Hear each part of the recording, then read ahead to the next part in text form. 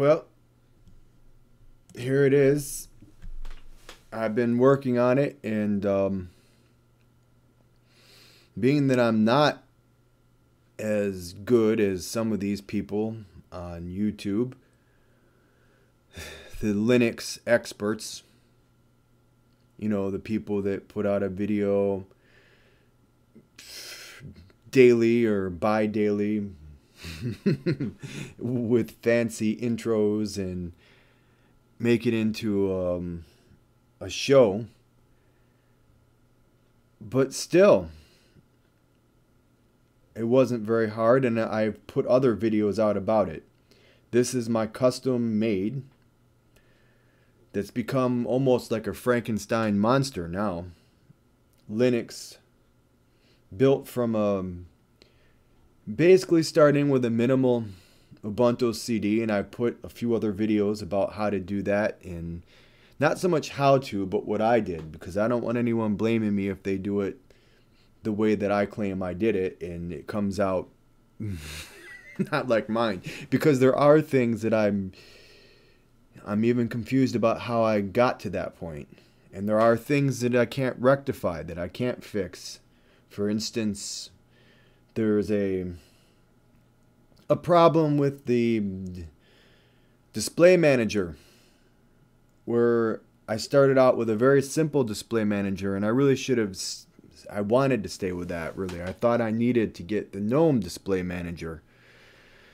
And now I'm stuck with the GNOME display manager and I can't get back to what's called XDM, the X display manager because it just won't let me do it. It won't let me sign in that way and so I'm always having to reinstall the GNOME display, which brings in a lot of different extra stuff. That was part of the reason. I didn't really want the extra stuff. Other than the extra wallpapers, which I brought in from different places, which are kind of cool. But I didn't need the extra utilities and things like that. Icons are good to have, of course. So here we are on day, I don't know what, a week or so. I haven't scrapped it yet. I haven't had to start over yet.